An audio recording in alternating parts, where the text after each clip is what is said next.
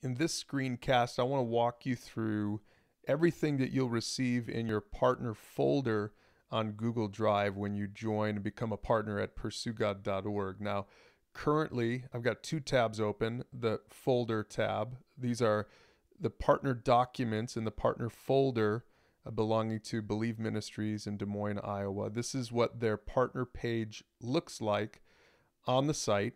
So I'm going to be jumping between the two of these so that you can see how the folder and the documents in the folder that you as the partner ministry you have control over. So when you partner up with us we will create a folder for you and everything that you see right here will be in your partner folder as well. So i want to walk you through this to show you how to use this and to show you that when you change something in your documents how it gets reflected over on your web page so let's start here with the partner page. And as we scroll down, you'll notice the first thing that has some customization to it is the request a mentor form. When you click here to request a mentor, you'll notice that it brings uh, the person that's surfing your page to this form.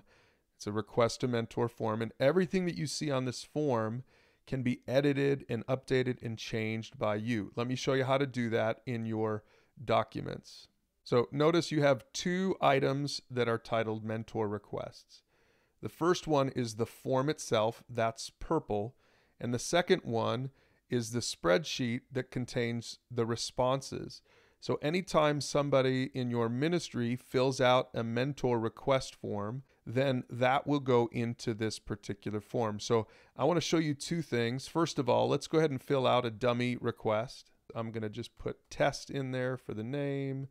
The number is going to be, of course, 5555555, male, and um, nothing to see here. And I'm going to submit that. Now, once you submit that, uh, once that person on the other end submits that, that mentor request, what'll happen is that gets gathered here in your responses. So let's take a look at that.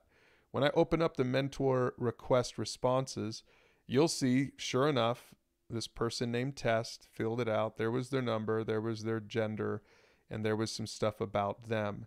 Now, what I would encourage you to do is to sort of clean up this a little bit. And, um, you know, you don't need this much space for the phone number. Certainly don't need that much space for gender. And then this section right here can be a notes section if you want to. Um, we're going to just call this notes. And, you know, that's for staff follow up. So you can say, Pastor John followed up with this one. So, this is just a real simple way for you to gather the mentor requests. Let me just show you one more thing about how to maximize the use of your forms to make sure that anytime someone fills out your form that you get notified. If you come over here to tools, click on notification rules, you can set this up that it's going to notify you anytime a user submits a form and you can say notify me right away.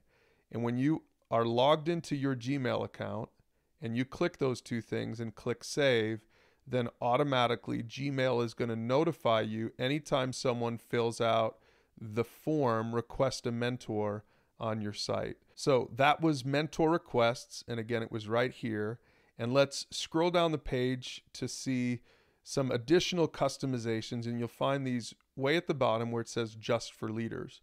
There's two more things that you'll find on your page, and one is your milestones. Now, this is a form that's embedded in your page.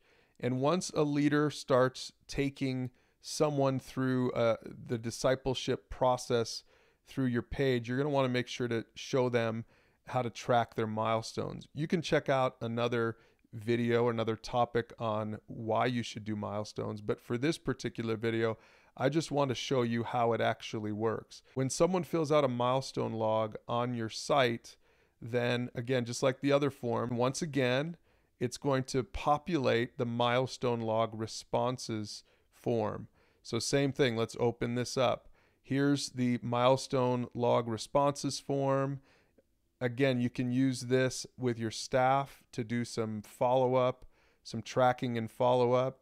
And once again, go to tools and notification rules if you want to get notified on any time a user submits this particular form.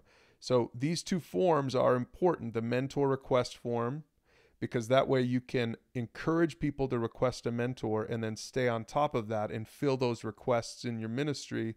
And then, secondly, the people who are mentoring can go to the leader section at the bottom of your page, fill out the milestones so that you can follow up with them, celebrate with them, give them the support that they need to continue to do you know, the most important thing in your ministry, which is to make disciples. Now, one more thing I want to show you here if you want to change your mentor request form or your milestone log form, you can just do it right here. So go through this form. You can add new content. You can add, change, or add questions, and that's you can move these questions around. It's it's pretty self-explanatory. So let me just show you real quick. If I want to if I want to add a question, I click on the plus button and then I can say test question and I can make it multiple choice or I can make it checkbox or short answer and I can do option one and option two and option three and I can decide if I want to make it required or not. And then that particular question is done and I can move this thing around. I can grab it and move it and reorder it wherever I want to put the question. So, one more thing to show you as far as customizations, and that's again back at your Just for Leaders section. When you click on Leader Notes, what you'll notice here is a place for you to speak specifically and directly to all of your leaders. Anything that you see in this Leader Notes section is right here in this Leader Notes document. So if you go into this leader notes document and you want to talk to them about the training that you have coming up or you want to do some Q&A, just type it in here. Type in the answer. You know, you can I like to keep the formatting really simple and uh, anything that you do here within 5 or 10 minutes is going to show up right here on at the bottom of your uh, page under leader notes. So this is a way for you to train your leaders to check out the leader notes. Let's say they have commonly asked questions. You can just tell them, we'll put it in, we'll put the answers in leader notes. Or let's say people are saying, hey, um, I want to know how you're going to stay in the loop with all of the mentors in your church or in your ministry. Teach them to check in on leader notes. So I know that was a lot of information, and your consultant can help you if you have additional questions on any of this, but that is what that partner page Google folder is all about. It's filled with all of the customizations. So make sure that you use them well as you make disciples in your ministry.